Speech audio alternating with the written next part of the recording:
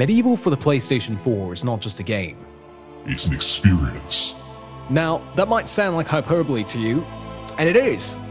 But you can't spell hyperbole without hype, and in this video I'm going to explain why you should be hyped for the MediEvil remake.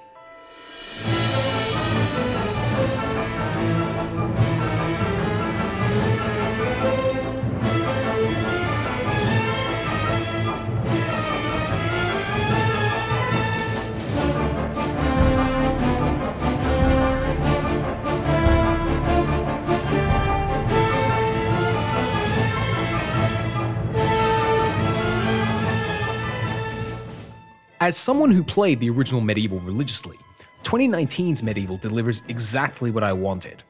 Just as Studio Cambridge's original title captivated 8-year-old me all those years ago, Other Ocean Emeryville's interpretation of the game has sucked me into the world of Gallowmere, itching to vanquish Zarok and earn my rightful place in the Hall of Heroes.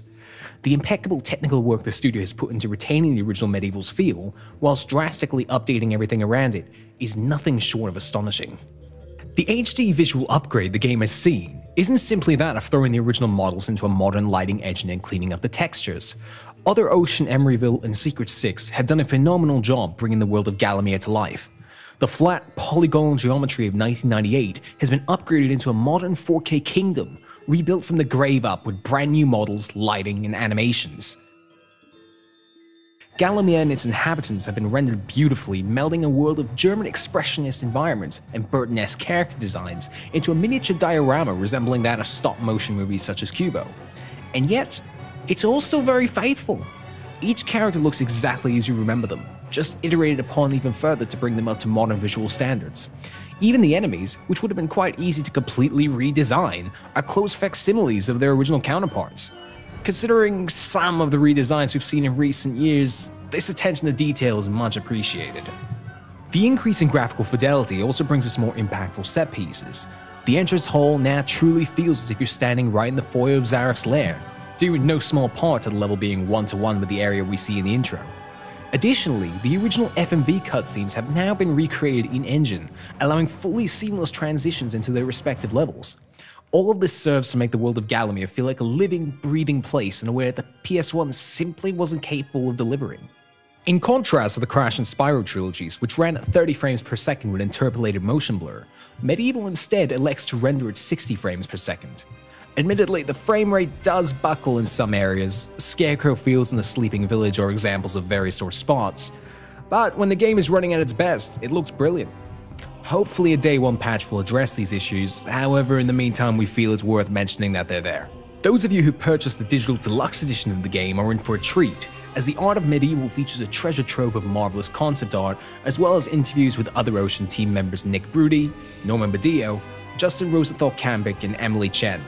We won't be sharing any of it here though, so you'll have to get that yourself. Let's talk about the gameplay. It's MediEvil as you remember it. Sir Dan's controls have been recreated incredibly faithfully, just, well, better. For lack of a more appropriate term, Dan always felt quite slippery in the original, which was very unique and in character, but perhaps a bit too much. We're happy to report then that Dan is much tighter to control now. Make no mistake, he's still characteristically slick, but you won't find yourself falling into the abyss at the game's behest nearly as often. Combat is similarly faithful yet upgraded, with Dan's attacks being as nimble as ever. No slowdown here. But now, we're also treated to true strafing and a brand new over-the-shoulder camera function. The Dan Cam, as it's called, can be activated by holding down the R2 button, and brings you a true God of War style experience. It also gives you a pretty great look at the general scenery, so that's neat too. The quick swap function from MediEvil 2 has also been brought over, which allows you to equip both a primary and secondary weapon that can then be swapped at the press of a button. This was a heavily requested feature, so seeing it in is a nice surprise. The boss battles have been, by and large, totally overhauled. The Pumpkin Serpent, originally the worst boss battle in the game by far, is now a contender for one of the best, featuring a long, multi-phase design in rather stark contrast to the original where he could be beaten in a matter of seconds by striking his roots enough times. According to other Ocean producer Jeff Nockbar, Many of the boss additions are based on intended features buried in the original source code that didn't make it as a result of time constraints. Consequently, this is likely where the remake is most divergent from the original, but it's for the better. The bosses have frankly never been more fun. Other Ocean have also brought on series creators Chris Sorrell and Jason Wilson to consult upon the direction of the remake, giving their seal of approval to the new interpretations on display. That's not the end of their involvement either. The game now features a bestiary written by Sorrell himself. As you meet friends and foes across Gallowmere, the bestiary will fill up with information and portraits. The art is beautiful and the captions are hilarious. Sir Dan's bio calls him the worst for being a philatelist, so it ends up genuinely just being a great addition to the game. Finally, the digital deluxe edition of the game features a brand new motion comic written and illustrated by Sorrell and Wilson. It titled Fate's Arrow, it's loosely based off of their original pitch for MediEvil 3, in which Sir Dan revisits Gallowmere after the events of MediEvil 2. I won't spoil anything here, but for longtime fans of the series, this is a goldmine.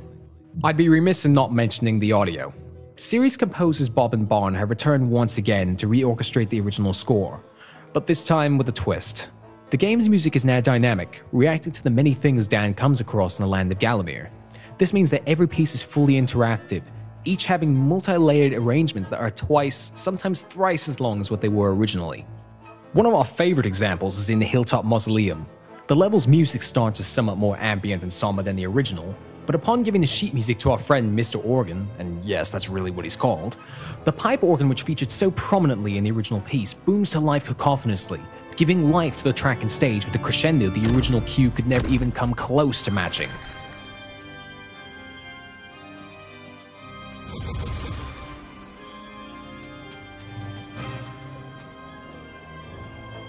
Even beyond the interactive aspect, the remade music has had incredible effort put into it.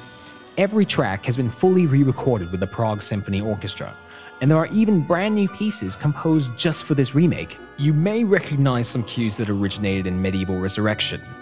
The bulk of Scarecrow Fields, for instance, is based off of the 2005 recording. But while some fans may balk at the reuse, these pieces have assuredly received the same amount of attention as the brand new recordings, featuring several layers of dynamic music not found previously. The digital deluxe edition of the game features lengthy interviews with Bob and Barn on the process of putting the score together, so I highly recommend picking that version of the game up if you'd like to learn more.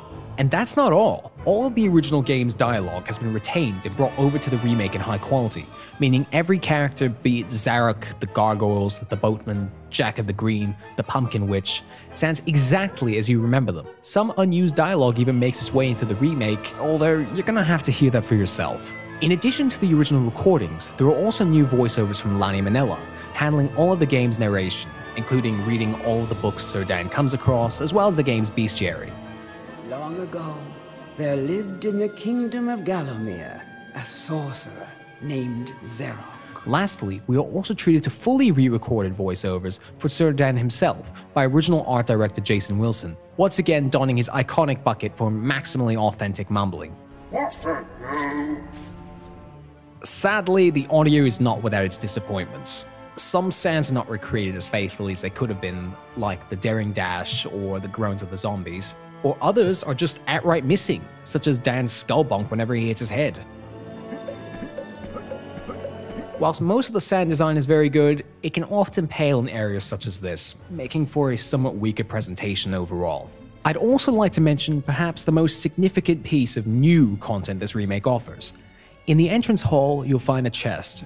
Opening this chest frees all the lost souls Zarok has collected during his conquest of Gallowmere, and it's up to you to put them to rest. How do you do that? Well, every level features its own lost soul for you to find. Once you find them, they tell you their backstory, which also serves as a clue for the level where they need to be put to rest. This usually involves finding a specific area on the level to invoke the soul, then engaging in a unique side quest before the soul is allowed to disappear. It's a brilliantly unique twist on the new Game Plus concept and adds significant longevity to the game without feeling artificial or forced.